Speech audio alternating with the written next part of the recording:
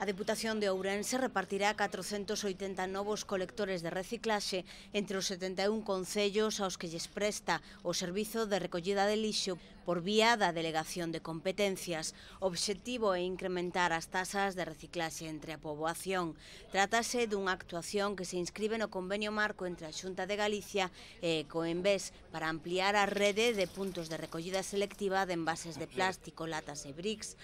os colectores amarelos e de envases de papel e cartón, os colectores azuis, na comunidade galega e, e cuxa vixencia se prolongará ata o vindeiro ano 2021. Pois podamos hoxe saudar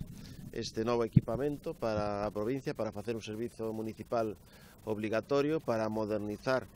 e para acondicionar mellor ese labor de recollida de lixo e decir que a recollida de residuos sólidos urbans pois é unha, unha obriga, pero que é tamén unha competencia que facemos vía delegación dos concellos á perfección. É dicir, creo que eh, se está a desenvolver xuntamente con campañas de concienciación medioambiental que son tan importantes e é un compromiso ineludible das administracións que hoxe saudamos este 2018 con este novo equipamento. Eh, o que queremos é seguir apostando conxuntamente polo medio ambiente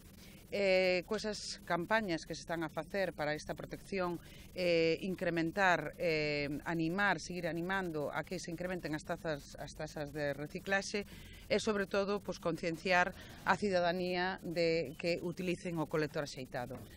Neste ámbito, a Deputación estudia incorporar novidades